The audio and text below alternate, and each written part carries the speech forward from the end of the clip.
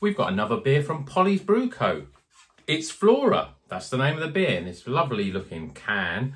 And this is an India Pale Ale, 8.6.8%. But what's it going to be like? Keep watching to find out.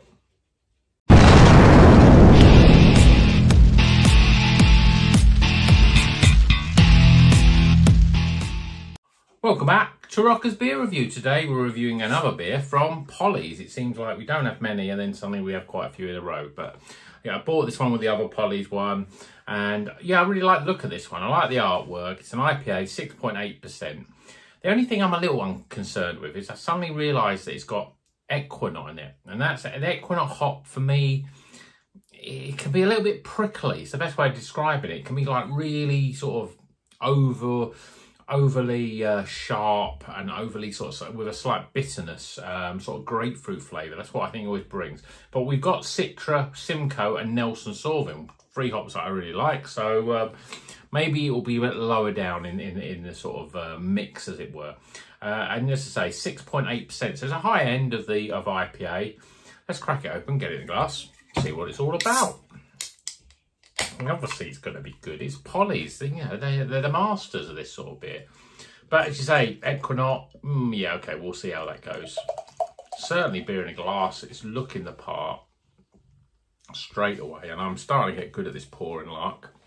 Look at that, beautiful golden yellow colour. It's really bright yellow. Two fingers, just how I like it, white, white, pretty compacted head. And already the room is being is filled with certainly a lot of grapefruit, which you know, okay, we'll we'll see how that goes. Um, but lots of citrus fruits already. I didn't put my nose to it, so let's get stuck in right now. Oh, smells really bright, fresh, sharp. You know that there is that Ekuanot is is fairly well high up in the mix, I would say. Lots of grapefruit aromas, lemons, limes there's even a bit of, I mean, I'll say even a bit, of course, there's Nelson, forget there's Nelson Sauvin, there's lots of, uh, there's gooseberry that's coming in. That's a little bit prickly as well in terms of its aroma. Yeah, lots of grapefruit, gooseberry, citrus, and citrus on citrus. Very, very sort of crisp and zesty. And then actually, we've had some hot weather here. I'm looking forward to this. I've got a nice first on. So let's crack in. Cheers, everyone.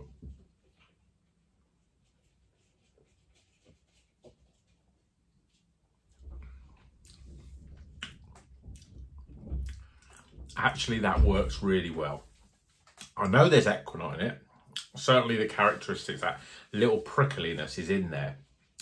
But it's held back a little bit by the rest of the hops doing their work. Nelson Sauvin's coming through. And again, Nelson Sauvin can overpower beers, but it's just in there in the background. You're getting that grape and gooseberry flavour. There's lots of lemon, there's lots of grapefruit, there's lots of lime all up front. And it's wrapped up in a really soft, velvety, creamy almost mouthfeel. I think the reason why, I, I mean, the mouthfeel is really soft and really good. I think the only reason I wouldn't call it overly creamy or velvety is just because there's such a prickly sort of flavour of grapefruit and gooseberry that sort of pick, it sort of it sort of makes it a prickly sort of mouthfeel as well. That doesn't make much sense because it's quite soft, but it's a prickliness of flavour. Yeah, that's really good. There's no doubt there's Ekuanot. There's definitely got that Ekuanot twang in it. But I've had I had Ekuanot in something recently in a, in a in a in a bar, and I don't. I think it was Ekuanot and probably Citra. There was just two hops, and Ekuanot was really sort of big. I mean, you are getting you get this dryness on the back end. The the grapefruit flavour sort of mellows a little bit in your mouth, and you're sort of left with a a slightly resinous uh, finish really. But it's it's a really good beer in terms of you get all that fruit and zest up front. And then once it's just sitting on the palate it develops a little bit more flavor. It gives that little bit of crisp bitterness and a little bit of resin and a little bit of more mature sort of grapefruit flavors. I think it's a really well put together beer and it's another winner from polly's. So it is soft. I would say probably medium bodied Polly's know how to make this beer.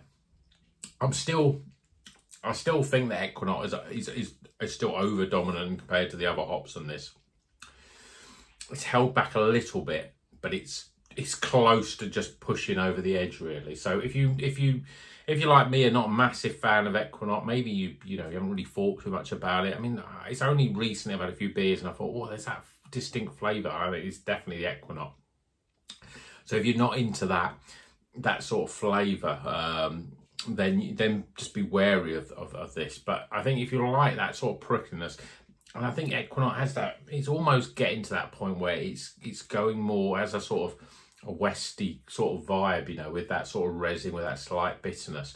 But the rest of the hops and obviously the way that it's brewed keeps it in check in terms of being a lower bitterness sort of beer. But there is definitely that twang, so you know it's not just juice really. So yeah, I mean, a lot of people like that. A lot of people want that.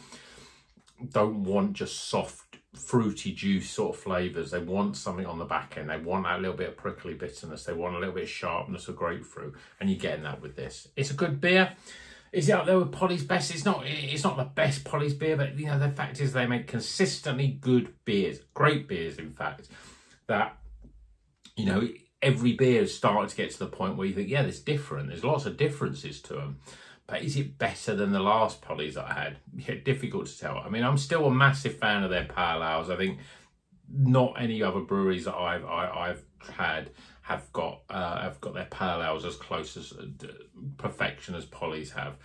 IPAs, yeah, there are other competitors. Certainly new ones like Azvex and Sureshot, you know, Cloudwater, Track, those sort of breweries that make very good IPAs. So I think the competition's stronger at the IPA level. Um, but this is a very good beer. If you like these hops, I think you'll like it. It's all put together in a lovely package. It's soft, got great aromas, and it's fruity and nice. So give it a go. Let's get some scores.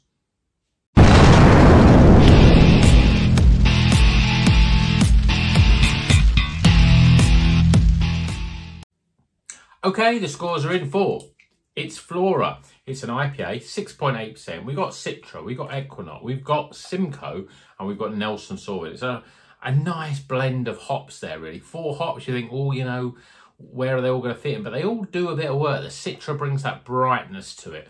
The Equinox brings that prickly grapefruit. The Nelson brings the... Um, the grape, the gooseberry, and the sort of Simcoe brings that little bit more of earthiness and grounds the beer a little bit better. But it's a lovely looking can and it's a lovely looking beer. So starting with the scores with aroma. Appearance. Flavour. Value for money. My overall experience.